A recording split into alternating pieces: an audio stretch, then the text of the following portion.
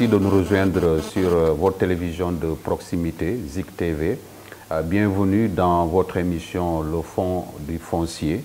Comme son nom, c'est une émission qui ira sur les questions foncières, la gestion, la gouvernance foncière, en vous permettant de comprendre mieux euh, comment les choses se passent, puisque c'est un secret de polichinelle.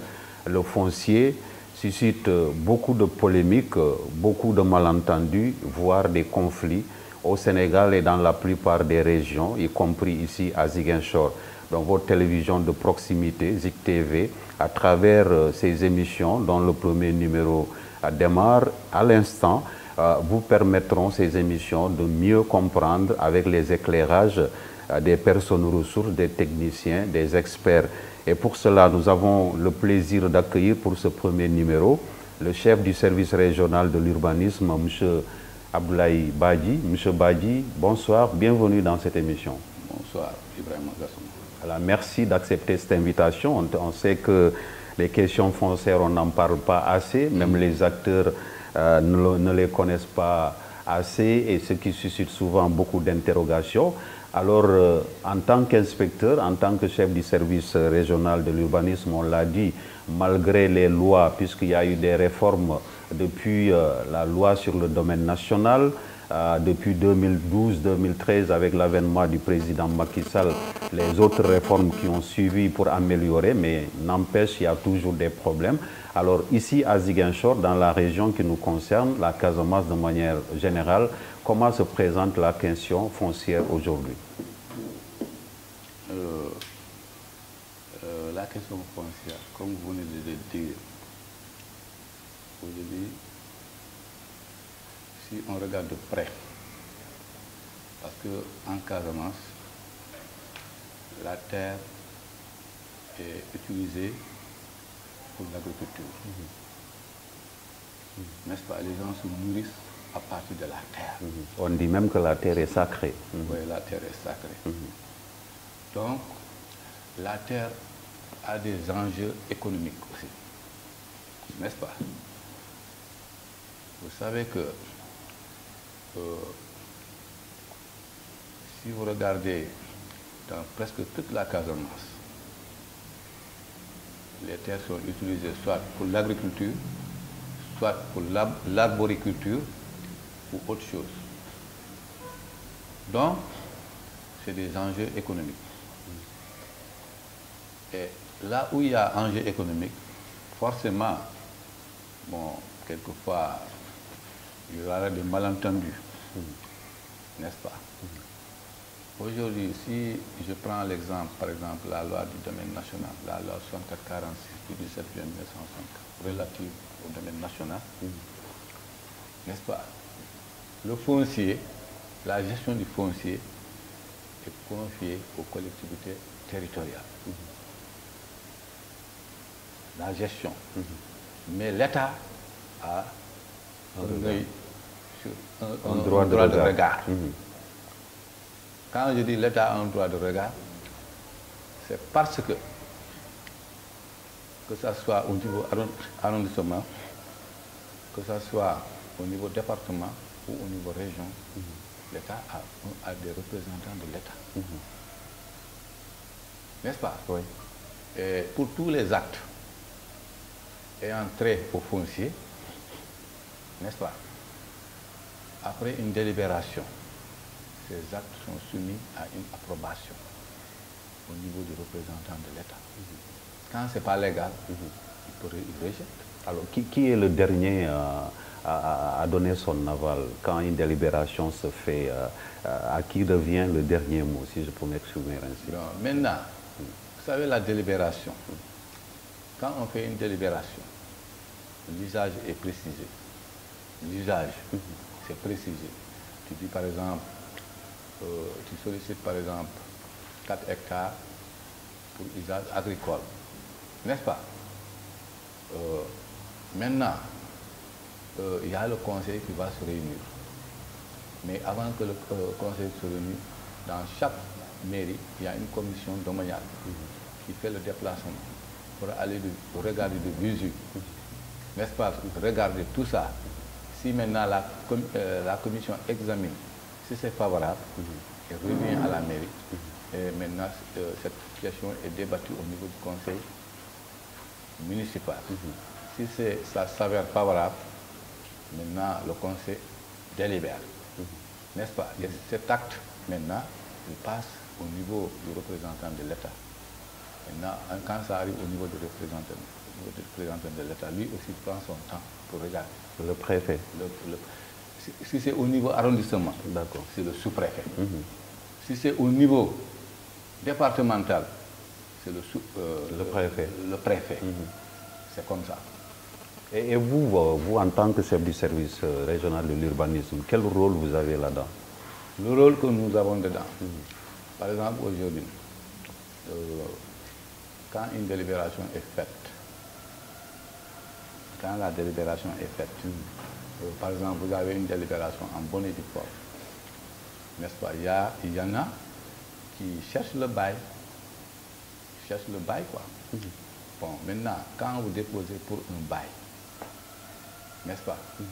euh, Vous déposez, vous faites la demande de bail au niveau du service des, impôts et domaines.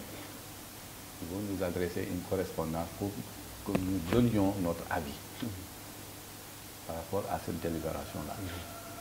Et là, nous sommes tenus de faire un déplacement sur le terrain pour aussi examiner cette question-là. Mhm.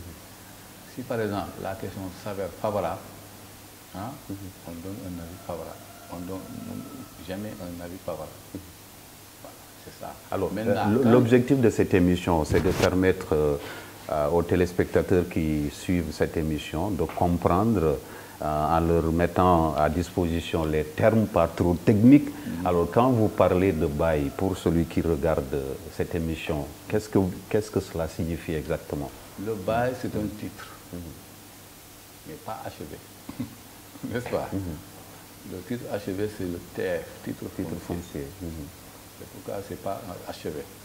Parce que quand vous déposez un dossier, euh, euh, vous avez le plan de délimitation de la, euh, du site, quoi, de la parcelle, le plan qui est délivré par le cadastre, le plan de délimitation, vous avez la demande de bail, vous allez au niveau des HLM, n'est-ce pas? Vous cherchez une attestation de même SNHLM. Euh, vous avez, euh, c'est ça le plan de délimitation. Après, vous allez déposer un dossier, n'est-ce pas? Vous déposez le dossier au niveau des domaines. Maintenant, quelque temps, les domaines nous envoient le dossier pour avis. Après, quand nous, nous donnons notre avis, si l'avis est favorable, le, euh, euh, au, niveau des domaines, ils transmettent le dossier à la CCOD, la commission de contrôle des opérations domaniales. Maintenant, quand ça arrive là-bas, la commission euh, va examiner. Et s'il donne un avis favorable, le dossier est retourné au niveau soit euh, des domaines, au niveau le préfet signe, euh, il y a le, préfet va signer, le receveur des domaines va signer et l'intéressé aussi signe. Mhm. C'est comme ça. Mhm. Pour avoir un contrat de bail. Maintenant, s'il a le contrat de bail, il est soumis aussi à des redevances annuelles. Mais les redevances sont calculées, c'est-à-dire que, bon, aujourd'hui, par exemple, si on prend un terrain situé à Almadi, ou bien un terrain situé à l'escale de Ziguinchor, et un terrain qui est situé à Kanyalan, hein, la valeur n'est pas la même. N'est-ce pas? D'où maintenant, dans les redevances aussi, c'est comme ça on calcule euh, en fonction de la valeur du prix au mètre carré. Alors le, prix varie selon quoi? Est-ce que celui qui est à Kandjalan qui vend a plus ou moins que celui qui est aux Allemands C'est-à-dire pour payer les redevances annuelles, les redevances, les redevances mhm. annuelles, mhm. parce que c'est une location que vous allez payer annuellement. pour le contrat de bail, vous allez payer annuellement. Mhm. C'est ça quoi. Je dis par exemple, par exemple celui qui a par exemple, un terrain à, un terrain, euh, un terrain à l'escale, mhm. il va payer plus que celui qui habite à Cagnola parce que les deux terrains n'ont pas la même valeur. Mhm. C'est ça. Mhm. d'où la, la nécessité. Par exemple, quand vous avez votre contrat de bail, il faut respecter le paiement. Mais au Sénégal, des fois, on fait, euh, le service des impôts et domaines font des, au, au 31 décembre, ils font des annonces pour demander tous ceux qui ont des baux de tout faire pour payer leurs redevances. Les recouvrements. voilà. Mais au Sénégal, bon, il y a des gens qui restent pendant des années, ils ne payent pas les redevances. Voilà. Et ça peut vous rattraper. Voilà, on, va parler justement du foncier, ça ce n'était qu'une introduction. On a parlé de la loi sur le domaine national. Euh, donc on pense que même euh, cette loi est obsolète depuis quelques années, euh, puisque ne répondant pas un peu aux réalités.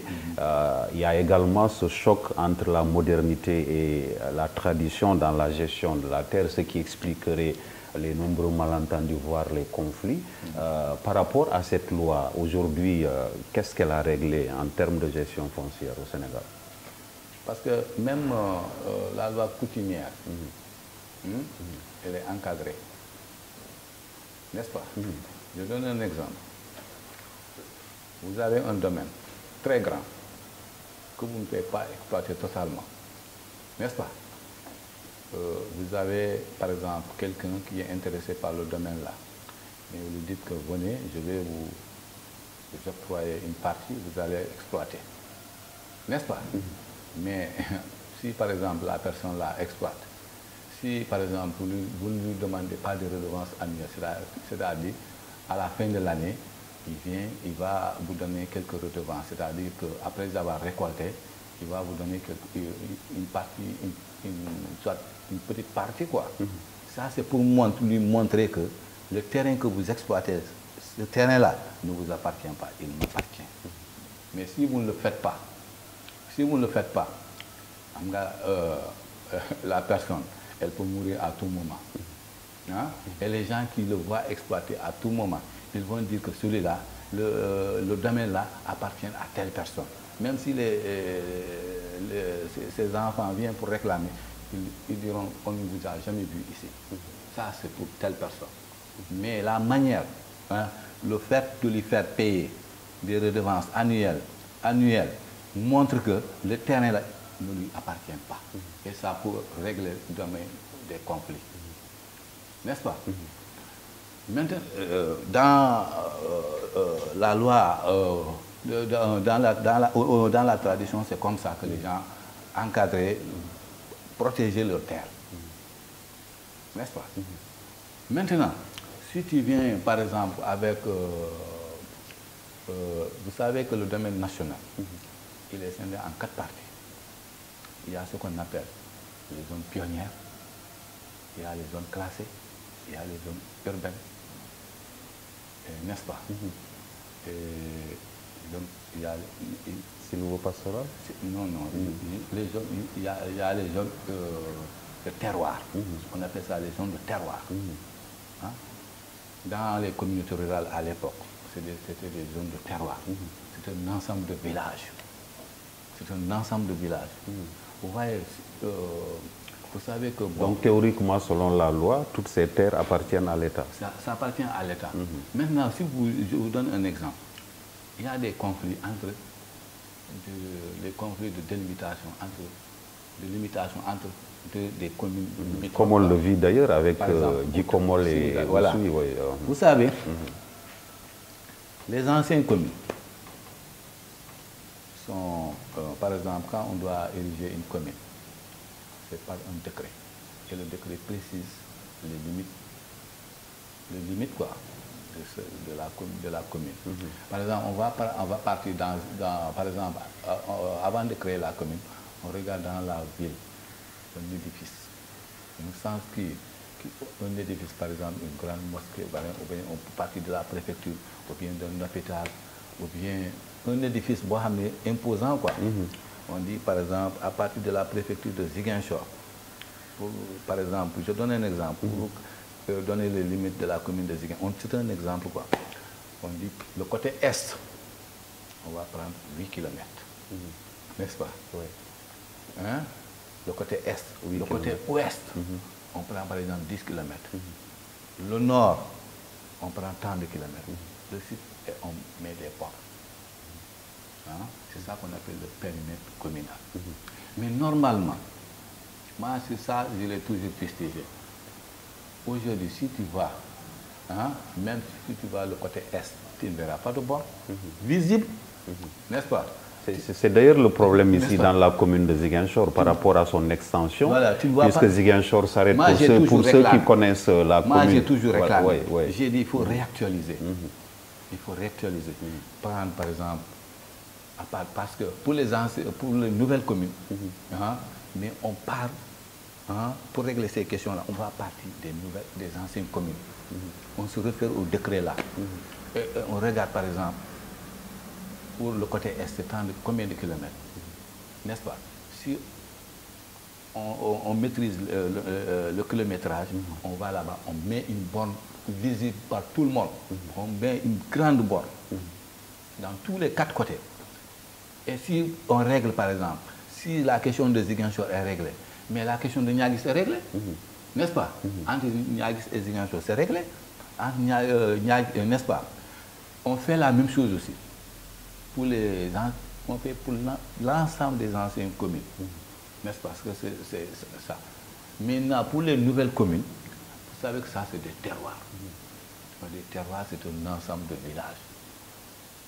C'est pourquoi aujourd'hui, les, les anciennes communautés rurales, hein, ce sont, ce sont ces, ces, qui là, ces communes, communautés rurales qui ont le foncier. Ils ont le foncier, elles ont le, le foncier aujourd'hui.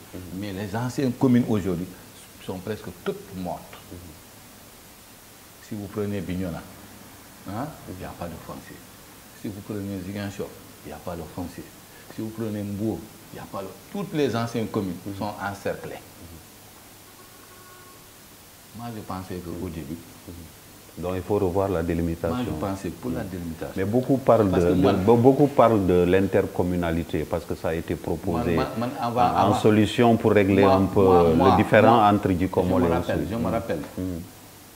Quand, par exemple, euh, le président devait pre- prendre, euh, euh, devait intervenir pour la communalisation intégrale, vous savez qu'il a bien fait de faire euh, des sensibilisations au niveau du Sénégal. N'est-ce pas? Mais moi, à cette époque-là, ce que moi j'ai préconisé, ce que moi j'ai envisagé, je disais, on pouvait prendre. C'était difficile de- pour régler cette question-là. On prend par exemple, on cible par exemple euh, quelques villages. On prend 5 à 6 villages, on les intègre dans l'ancienne commune pour étendre hein, les anciennes communes. Quoi. On prend par exemple 6 à 5 villages, on les étend. Parce que la commune, pour qu'elle se développe, hein, elle- doit avoir le foncier. Mais une commune sans foncier, elle ne peut pas se développer. Mais tout cela obéit à des, à des règles et à des critères. Des On ne va pas comme ça les yeux fermés Ouais. euh, Non, ça, c'est- mettre des communes dans des, des localités dans des communes. Est-ce que ce n'est pas, pas ça justement qui a amené à certains problèmes puisque à l'aveuglette comme ça, on a fait des, des délimitations qui aujourd'hui rattrapent euh, leurs initiateurs. Oui, ça c'est vrai. Ça c'est vrai. Maintenant, là, que, euh, aujourd'hui, beaucoup de communes sont en train de régler ça avec l'intercommunalité. Mais avec l'intercommunalité, des fois, ça pose problème. Hmm? Ça pose problème parce que, bon, la commune de Giguinchor aujourd'hui, si elle veut, par exemple, euh, ériger, par exemple, euh, un marché, hein, elle sollicite, par exemple, la commune frontière. Des fois, il y a problème. Avant qu'elle n'accepte, ça va prendre du temps. Mais si elle avait son propre foncier, elle va agir rapidement. Alors, quel, quel- quel problème, euh, M. Badji, cela risque de poser à l'avenir puisque Ziguinchor grandit, on a besoin de construire, la commune a besoin de, de- de s'étendre. Or, il n'y a pas d'espace. Quel problème cela pourrait poser à l'avenir? Euh, euh, la cherté des, ter- des terrains. La cherté des terrains. Les terrains vont coûter cher à l'avenir. Et ça, a com- gens- ça a commencé parce qu'aujourd'hui, on n'a pas un terrain à moins de Et 2 les gens, millions. et les gens seront obligés. C'est la raison pour laquelle, moi, aujourd'hui, quand par exemple il y a un terrain à Ziguinchor, ce que je conseille, le conseil que je donne, c'est de, de faire une très bonne fondation. de prévoir une très bonne fondation, une très bonne fondation. Pour faire des élévations. Pour faire des élévations R plus 2, R plus 3, R plus 4. C'est ce que je C'est la solution aujourd'hui, construire en hauteur. Bon, Mais on dit que le Diola n'aime pas trop construire en hauteur parce que c'est une société nous sommes, nous égalitaire. sommes obligés, nous sommes obligés, nous sommes obligés, parce que sinon, tu iras habiter en parc, n'est-ce pas? Nous sommes obligés. Nous sommes Alors, l'autre problème, inspecteur, c'est euh, l'accès à la terre pour euh, ceux qui souhaitent investir, parce qu'on a constaté qu'aujourd'hui, beaucoup, y compris les fils de la Casamance, reviennent vers leur localité pour investir. Absolument, ils ont besoin d'espace, d'hectares, de terre, mais quand même, il y a des, petits blocages dans certaines localités, puisque les populations pensent que c'est la terre de leurs ancêtres. Euh, alors, comment pallier les difficultés, euh, quand bien même il y aurait des lois qui n'ont pas pu, hein, selon le constat, régler ces problèmes Voilà, euh, si tu vas même dans les villages, je vais te donner l'exemple le plus terre à terre. Le programme des 100 000 logements. Ici en Casamance, on a des difficultés. On a de véritables, on a de véritables problèmes. Pourquoi? Parce que pour avoir de l'espace même, c'est difficile. Le site qui est ciblé, c'est Djabi. Mais, mais vous connaissez Djabi mieux que moi. N'est-ce pas? Tout est habité.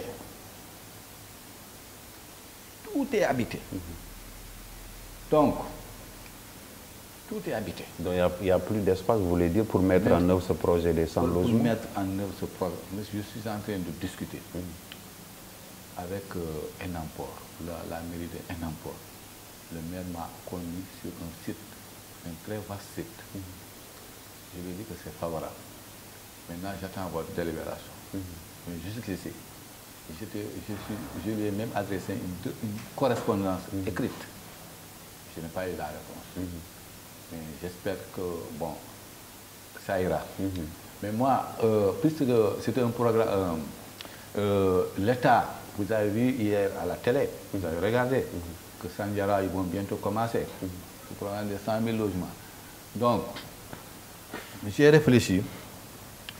J'ai dit que, bon, puisque le lotissement de Bokon Mankagne Baraf, c'est un vaste lotissement. Et ça fait 592 hectares. Et ce n'est pas habité. Hein? Je vais voir comment je vais adresser une correspondance à mon ministre pour lui expliquer pour les difficultés auxquelles je suis confronté.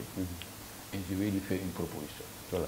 Vous, en tant que technicien, quelle réponse, euh, quel éclairage vous pouvez à- apporter par rapport à ce problème de lotissement de Djibelor Baraf, dans l'arrondissement aussi de Niagis, qui a suscité beaucoup de commentaires, Là- amenant certains même à, à dire que des gens auraient été arrêtés, mis en prison à cause de cela. Euh, quel éclairage vous pouvez apporter autour Moi, de cette question c'est, euh, c'est le lotissement. Le, le lotissement là, il est très valable. Parce que il a été approuvé par l'autorité centrale. Il y a l'arrêté avec moi. Donc moi, je ne vois pas de problème là-bas. Je ne vois aucun problème. Mais pourtant, on entend les populations dire souvent qu'elles sont Quelle lésées. Elles sont lésées par Bon, euh, quelle population? à qui habitent ces zones. Bon, si vous, vous pouvez me donner un exemple. Parce que si vous me dites que, par exemple, les populations... De Baraf, de Baraf, par exemple. Comme qui, ouais. par exemple? Mm. Non, on a entendu, Parce on ne va moi, pas personnaliser. Tous ces gens-là qui Mm. râlent, Mhm. ils sont de Ziguinchor. Ils sont de Ziguinchor. Moi, je, connais, je les connais très bien. Ils sont de Ziguinchor. Les populations de Baraf ni de Bukot Mankagne n'ont jamais refusé à ce lotissement-là. Parce que c'est le plus beau lotissement. Mais c'était c'était plutôt par rapport aux critères, au taux de... Parce que a c'était un problème de pourcentage entre ce qu'eux, ils devaient avoir Ce que je te dis, ce que je te dis comme ça, c'est le plus beau lotissement. C'est le plus beau lotissement. Ils ont reçu leur quota, sans contester. Si je prends un exemple, la distribution a été faite sur terrain. Sur terrain, avec eux. Et tu as le choix de regarder soit sur la carte, ou bien tu regardes sur la carte, ou bien tu choisis l'endroit qui te convient. Parce que vous savez pourquoi on a fait ça. Il y a par endroit des plantations. Si par exemple tu as mis beaucoup d'anarcalgiers dans ce côté, sur ce côté-là, ou bien tu as beaucoup d'agrumes ici, ou bien de manguiers, hein, tu dis, moi je préfère ce côté-là. Et on te dit, voilà, n'est-ce pas, les numéros qui correspondent à ce côté-là. Alors, Et quel, a été votre arbitrage dans ce différent Parce qu'il y a quand même beaucoup de, beaucoup de polémiques autour euh, Wow. de ce lotissement. Quelle polémique par exemple? Non, on a entendu des populations. Population? J'ai animé des émissions à la radio où Parce que moi, ouais. bon, les- quand vous animez, euh, ce que vous devrez faire d'abord, c'est de leur demander. Vous êtes résident de Barab ou bien vous êtes résident de Ziguinchor, ça c'est très important. Parce que dans les distributions, hein, les résidents, on donne aux résidents, mais pas aux étrangers. N'est-ce pas? Gassama, Mais toi aujourd'hui, je donne un exemple. Tu vas à Barab, on te, on te vend un terrain hein, non loti. Quel papier on va te donner? Quel papier on va te donner? Hein? On va te donner un acte comme ça. Un acte, c'est le propriétaire même qui signe son acte. Et ça, c'est pas valable. Est-ce que vous avez la possibilité de vérifier est-ce que l'acte, le, le terrain là est, est un- est valable ou il n'est pas valable? Hein? Je donne un exemple. Il vous vend le terrain, vous partez. Pour le même terrain, elle vient, celle-là vient. Tu lui dis, voilà, c'est un terrain à vendre. Lui, elle aussi, elle n'a pas la possibilité de vérifier. Un autre vient, je peux vendre jusqu'à 10 personnes, le même terrain, parce que vous n'avez pas les moyens pour vérifier tout ça.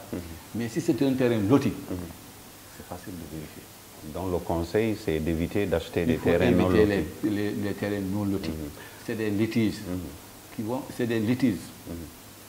Donc, achetez toujours des terrains lotis. Mais dans les terrains lotis aussi, il faut procéder à des vérifications. Par exemple, si par exemple, le terrain, quelqu'un veut vous vendre un terrain, mais il y a la, euh, il y a la liste des attributaires. Si vous allez à la mairie, vous aurez la liste là. Vous venez au cadastre, vous aurez la liste là. Vous venez au niveau des domaines, vous, aurez- vous avez la liste là. Vous allez au, domaine, vous avez cette liste là. N'est-ce pas? Maintenant, si vous vérifiez, si vous regardez que c'est Abdoulaye Badji, Abdoulaye Badji, vraiment c'est un terrain de 300 mètres carrés. N'est-ce pas? Quand vous. Regardez Voilà. et Mal- puis, euh, euh, on, nous, on interdit les- la vente. La vente, elle est interdite. Voilà. Malheureusement, l'ém- l'émission tire à sa fin. Il nous reste quelques petites minutes. Euh, On aura de toute façon l'occasion de revenir puisque ce n'est qu'un premier numéro, puisque le foncier euh, suscite beaucoup euh, de commentaires et beaucoup d'enjeux. On aura l'occasion à travers les prochaines émissions d'aborder d'autres euh, questions. Mais pour terminer, il y, a, également la gestion foncière euh, par les collectivités territoriales. Ça suscite également beaucoup, beaucoup, beaucoup de polémiques. euh, le comportement de certains maires qui vendraient des terres alors qu'ils n'ont pas le droit, ces questions d'espace vert.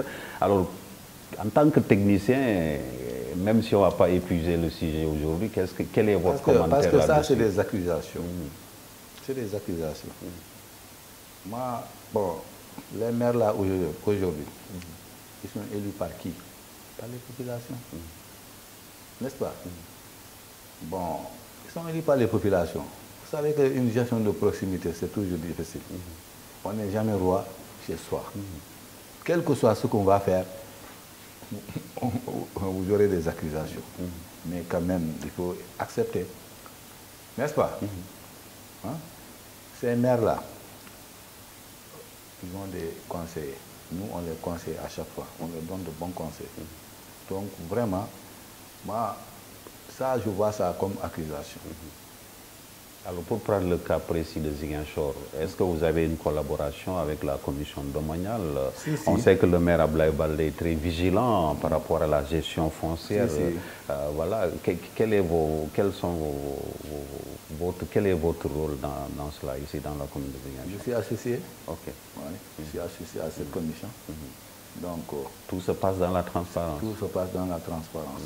Tout se passe dans la transparence. Je n'ai rien à reprocher. Voilà. Voilà, euh, Monsieur l'inspecteur, merci. Euh, le temps qui nous était accordé est terminé, mais on espère vous revoir pour d'autres numéros. Merci. Euh, puisque cette émission, le fond du foncier, a pour objectif d'aller au fond, comme son nom, des questions et de la gestion foncière. Merci en tout cas d'avoir accepté cette invitation. Je rappelle que M. Abreibadji, vous êtes le chef du service régional de l'urbanisme ici à Ziguinchor. Mesdames, Messieurs, c'est tout pour cette émission, le fond du foncier. Merci à tous nos techniciens, à la réalisation Madjenguien et puis au cadre Abbas Aaron Choi, Matar Gueye et Khadija Badji. On vous retrouve très vite sur ZigFM TV.